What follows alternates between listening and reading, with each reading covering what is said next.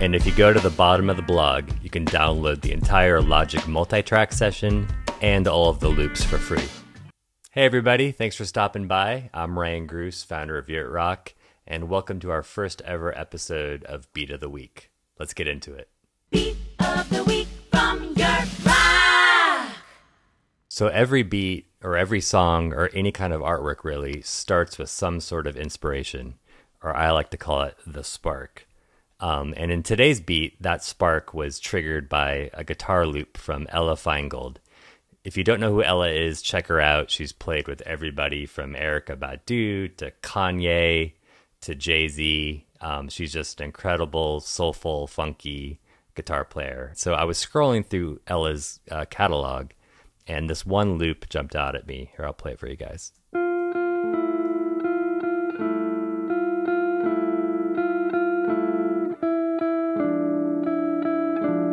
So very sparse but melodic. And that right there was enough for me to be like, okay, that's something I can I can work with.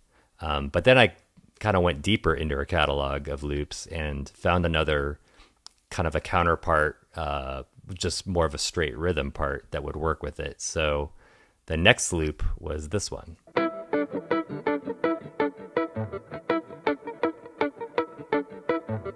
Kind of a very staccato rhythmic part with there's lots of reverb going on too. But really just eighth notes, but she swings the feel at the end of each phrase. So together, those two sound like this.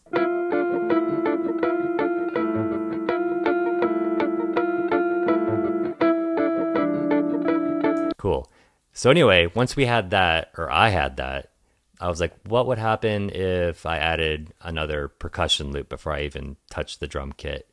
And we had also just released a new pack um, from Ben Alon, also known as One Man Tribe. And he plays a crazy drum kit that consists of all kinds of African and Middle Eastern and Indian percussion and drums, and plays it like a drum set, but with you know rhythms from each of those regions and kind of it's a melting pot of rhythm. So i was digging through his volume one release and i found this loop which had a nice feel to it.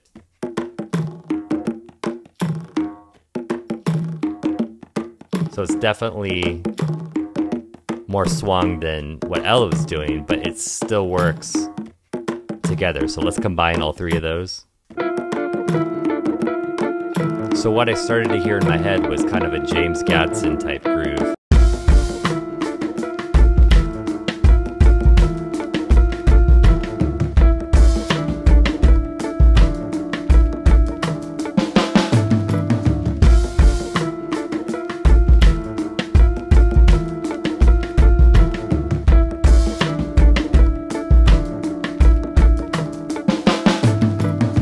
Take a quick look at today's drum kit. It's a USA custom Gretsch, bebop sizes with a Ludwig 8 inch mahogany.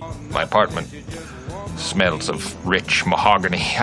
And guys, I'm sorry about the sandals. It's it's laundry day. On the toms, we have Ambassador fiber skins. Tune low. Same with the floor tom, but we also have a big fat snare drum snare dampener on it just to kind of dampen the floor tom. And the hats are super cheap Agazarians, if that's how you pronounce it. Bought these at Guitar Center like 10 years ago. Super cheap, super thin, and they sound super cool. Kind of like old Zildjian Ks, really thin. But together, this kit works pretty well. And as far as microphones go, I'm using all Audix mics on the kick, snare, and toms.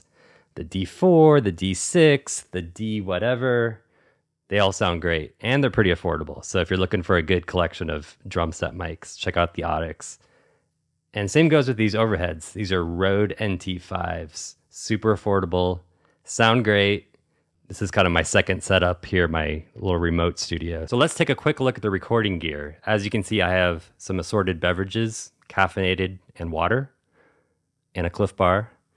But as far as preamps go, kick, snare, and toms are going through the APIs, overheads through the UA Apollo, and room mic was going through the UA 610 along with a compressor. Okay, so let's nerd out for a bit and take a quick look at the Logic session in a bit more detail. Um, let me play the tracks back. And as you can see, I am not using any plugins on the guitar or the percussion. They were already processed through so much analog uh, gear and tape. They already had kind of the, the vibe printed to them, so I, I, did, I didn't want to mess with that. Um, but as I'll show you, I needed to, to make the acoustic drums kind of fit that vibe and kind of have a retro feel.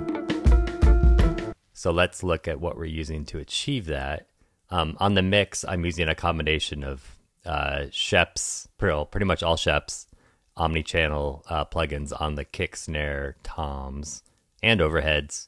Uh, and then on the room mic, which I'm not really using in the mix, because um, I wanted, in, in, the end, I wanted a tighter sound. But if you do pull it up, you'll see that there's a compressor and the UA oxide tape, which is a phenomenal plugin as far as kind of getting some extra saturation into your uh, drum or any instrument really um, into that sound. Okay, now let's check out the drum bus to see what I did to kind of match those vintage tones of the guitar and the percussion.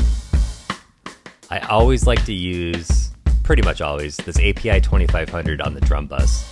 Acts as a great sort of glue, sonic glue to the, the sound. It really, um, if you turn it off, you'll hear the dynamics are obviously a little bit more all over the place. Then with it back on, it's it's just kind of a, a more controlled um, and full sound. Then after that, I've been checking out the the knock plugin from Decap.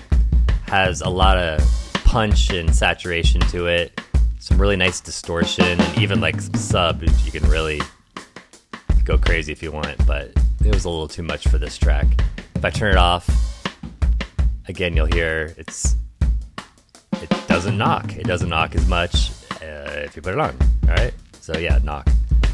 And then last but not least is probably my favorite plugin, one of my favorite plugins in the world. It's the RC20 Retro Color. So like I said, the guitar and percussion had, had already been, you know, tracked through analog gear and tape and had this, you know, very warm vintage vibe. So for the drums to match, um, I leaned pretty heavily on the RC20. If I turn it off, just super clean, you know, modern drums because that's how, how we were tracking everything, um, especially uh, in the digital realm.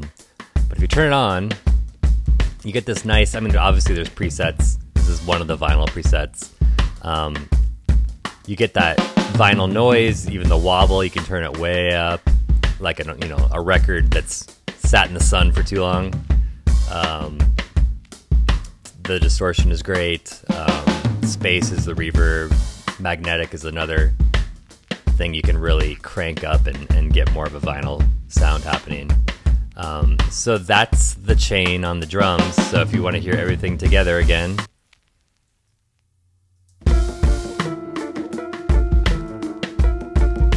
so that's it. So if you want to download this, um, head over to the blog, scroll down. There's a big download button. You can get the entire Logic session for free plus all these loops that we used uh, to, to, create the beat to start with. So Ella's two guitar loops, Ben's percussion loop, my drum loop, and a loop of the final mix. So please feel free to do whatever you guys want with this. Make new songs, make new tracks, make new beats, post it on your socials. Um, I just ask that you tag us so we can share it with everybody. Tag Yurt Rock, tag Beat of the Week, um, and we'll repost, reshare. Um, and don't forget to hit the subscribe button on YouTube because we're going to be doing this every week. Completely different beats. I might be in Ableton next week. I might be in Pro Tools. Who knows? Pro Tools. Pro Tools.